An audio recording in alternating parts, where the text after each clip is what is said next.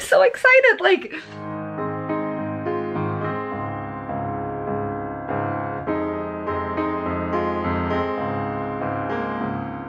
Hello everyone, Editing Amanda here. So I found all of these files on my hard drive. They were actually all edited already. I thought I had edited and uploaded this video.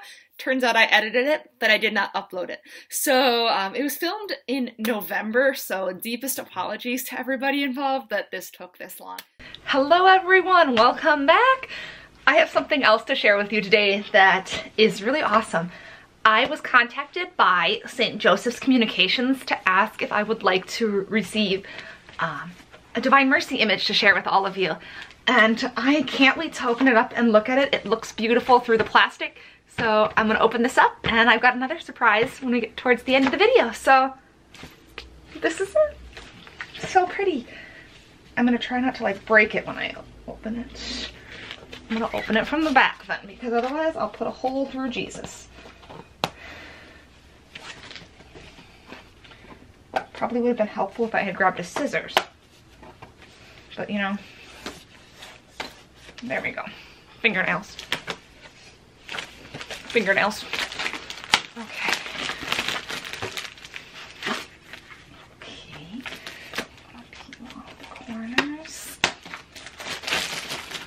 So this is a 6 by 11 canvas framed print of Divine Mercy. This is the Vilnius, I believe. If I'm pronouncing it right.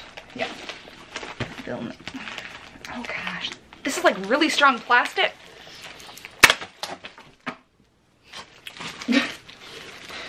okay. So on the back, it tells you the details of the image so you know where to find it on their website. I'll link it down below.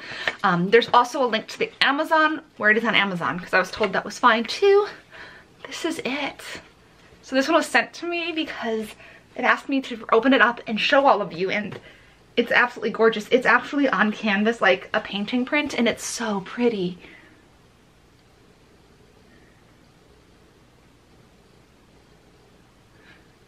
It's absolutely gorgeous. Jesus, I trust in you. It's got the hanger on the back as well as a stand so it can sit on a desk or tabletop. It's absolutely beautiful though.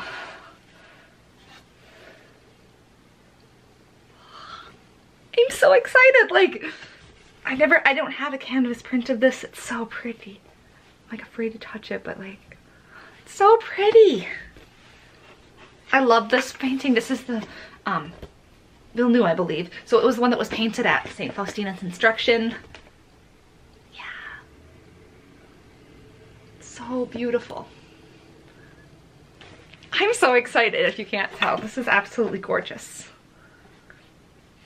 And then the other surprise that I told you about is that when they sent this one, I got an email asking if I would like another one, another image as well.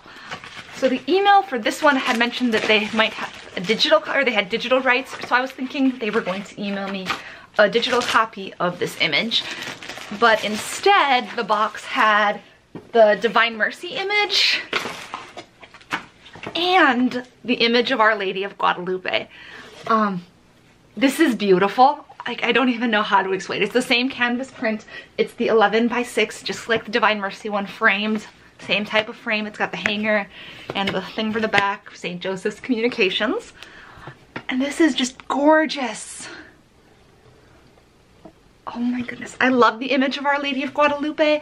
And especially now that I'm working in a parish that is mostly Hispanic, um, Our Lady of Guadalupe is very important to the Mexican Americans that live here. And so this is just beautiful. I'm trying to see if I can, it's like on canvas again, like it's a beautiful painting. It's the image of Our Lady. And oh my goodness, this is so appropriate for coming up in December because her feast day is coming up. Um, yeah, about a month to go. So excited. It's actually exactly a month from the day I'm filming this, so that tells you what day it is today. so yeah, oh my goodness, it's so pretty. So the, they have the same frame, and this is, just, and it's just very beautiful. We've got Our Lady of Guadalupe, we have the Divine Mercy. So like I said, I'm gonna leave links to these down below and thank you so much, St. Joseph's Communications. I am so excited for both of these. I wanted to find a great spot to put them in my apartment. I'm thinking about maybe taking one of them, one or both of them to work to hang in my office because that would be really awesome. So I have to decide where I'm gonna put them. I am loving them. Do you guys have any images of Divine Mercy or Our Lady in your home? Just curious on if it's a common thing to have these images in our home. I know I didn't have a Divine Mercy until very recently in my home. Uh, and it's just a 8 by 10 print and I also have an 8 by 10 print of Our Lady of Fatima. So this is the first Our Lady of Guadalupe that I've ever had. So I'm really excited. Thank you so much. Please make sure you like and subscribe. God bless.